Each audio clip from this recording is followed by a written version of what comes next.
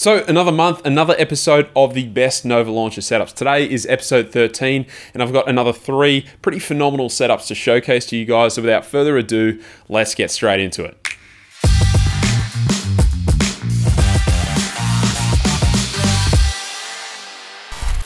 So to start us off today, we have this super vibrant, bright and colorful two-page setup sent in from Suraj, and I thought that this one was a nice change from the minimal desaturated setups that I normally showcase. And even though this setup is definitely not super minimal, it's still got a cool design to it with lots of functionality baked in.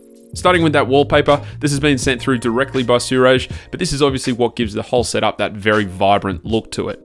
In saying that, what I really like about it is that it's just those two very complementary colors, the red and the blue, and that means it still feels clean and organized and not too overpowering. From there, you can see that we've got lots of different widgets on this page, and most of these are actually self-made and have been directly sent through, so I will also link them down below. But starting at the top, we have a text box widget, which is the OnePlus slogan saying never settle, but you could no doubt adjust this to say anything that you'd like. And then below that, we have a date, day, and clock widget. And this is an altered widget from the Minimal UI widget pack for Zooper Widget Pro. And this is using widget 52 to be precise. And then Suraj has added a faded black rectangle to the background of this widget so that it stands out a little further. In fact, throughout the entire two page setup, you'll notice that he's got a similar faded black rectangle behind each of the different widgets that helps to unify the entire setup despite there being so many different widgets. Coming below that, we have a Google Assistant icon widget, which tapping on launches the Google Assistant. And then below that, we have a custom made days remaining in the year widget, which I've set up to trigger the Google Calendar app. Below that was originally another custom text box, but I took the liberty to change this to a battery bar widget, which tapping on will jump into the battery settings, which I thought fit the look of the setup a little bit more. And then just below that, we have a set of eight application icons. These are all sitting on that same faded black background widget.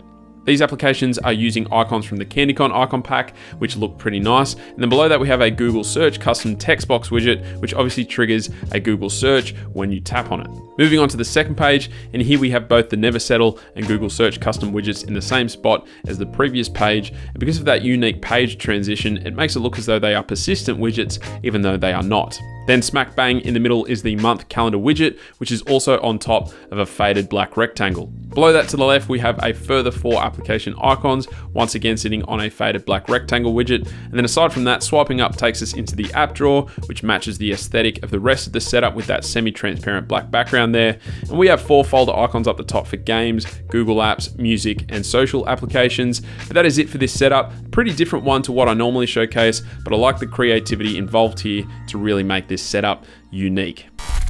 Next up is Cliff's one page setup, a bit more subdued than the previous setup, not as much going on, but a very attractive design that will look great on just about any device. So that Spaceman wallpaper is taken from the AMOLED Wallpapers application. And what I love about this wallpaper is firstly, it will look great on any device with an OLED screen because of those rich areas of black throughout. But then secondly, all of that negative space up the top allows us to place widgets and icons without worrying at all about whether you'll be able to see them clearly or not. Moving to that widget up the top, this is a date, day, and time widget. And it's also been taken from the Minimal UI widget pack. I feel as though this one, whilst it does stand out quite a bit in comparison to the rest of the home screen, it still ties in in nicely and doesn't feel out of place. It even looks like that little spaceman is looking up at that widget. Not only that, but you can also set that widget up to trigger your calendar application of choice when you tap on it, so a nice bit of functionality available there. Coming below that, and we have two rows of five application icons, and the red icons on the outer edges come from the Flatcons red icon pack, and then the white icons in the middle portion are taken from the Gel Dark icon pack. And these two icon packs work perfectly with each other, particularly on a dark background such as this, and I love the creativity implemented here in utilizing two different icon packs. Aside from that, swiping up into the app drawer presents a pretty nonchalant app drawer, nothing too outrageous going on here, but aside from that, that is about it for this setup. Clean and very visually appealing. And finally today we have a single page home screen set up by Unjal and this one has utilized widgets really well much like the first setup to help the different assets and elements stand out on this fairly busy backdrop. And so speaking of that backdrop, this has again been sent through directly, which is nice. And I do like the color palette of this wallpaper. It's not in your face and over the top, but there's still quite a lot happening within the image to maintain good interest. From there, we have three main shape widgets up the top left, in the middle, and then the bottom right. And these have all been custom made and they serve as bounding boxes and backdrops for the app icons and other widgets that otherwise would have been pretty difficult to see on top of this backdrop. Now up the top left, on top of the custom made corner widget is a time, date, day, and battery percentage widget. This again comes from the minimal UI for Zooper widget pack, and tapping on this launches into the clock application. In the middle, we have a set of five application icons, which makes this the most minimal setup in today's episode. But these are using icons from the Lines icon pack, which I feel fits in perfectly with the overall aesthetic of this setup. What's also great is that swiping on each of the apps triggers a series of folders, which means that even though this setup looks super minimal, there is still quick access to virtually as many apps as you'd like. Down towards the bottom right, we have another widget from the Minimal UI widget pack. I promise they're not today's sponsor, but this one has been customized slightly and it obviously serves as an instructional piece of text explaining how to get into the app drawer, but also tapping on that will trigger the app drawer as well.